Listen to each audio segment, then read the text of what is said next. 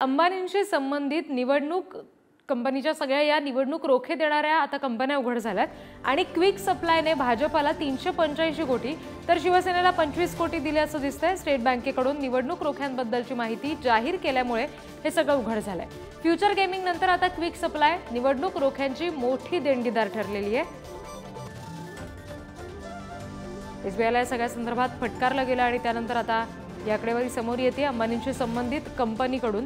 निवडणूक रोखे देणग्या दिल्याचं उघड झालेलं आहे क्विक सप्लाय नावाची ही कंपनी आहे जिनं भाजपाला तीनशे पंच्याऐंशी कोटी तर शिवसेनेला पंचवीस कोटी दिले असं दिसतंय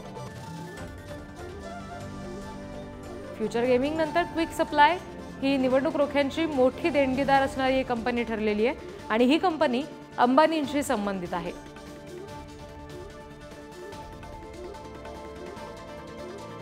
Thank you.